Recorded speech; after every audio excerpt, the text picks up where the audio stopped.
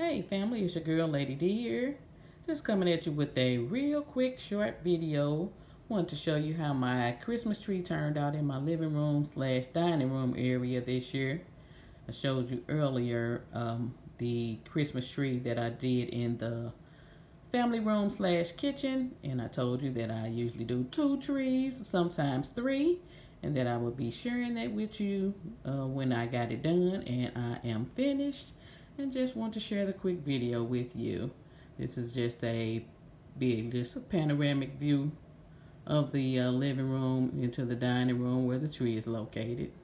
Just let you see how it all blends in, in my opinion, and check it out.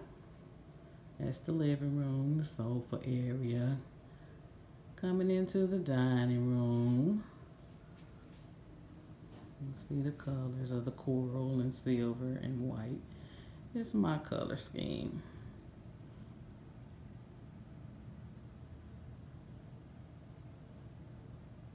Coming in from the front door into the dining room area.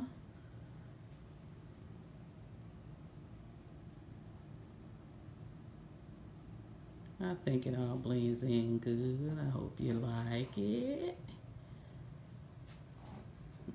It's the tree all glitz and glam. Hope you can see it. I know sometimes the white bulbs and the white lights tend to uh, whitewash the video. But I hope you can still see it well enough to kind of get an idea. Just going into the hallway there. Let's get an idea of how it turned out. I'm satisfied. I think it is pretty. I think it's pretty. A few of the other items I have, uh, my reindeer, my doves for Christmas. Got a few Christmassy items in the china cabinet along with the crystal. But I think it turned out pretty. I'll walk back and give you a view as you're coming in from the front door of how the room looks all together.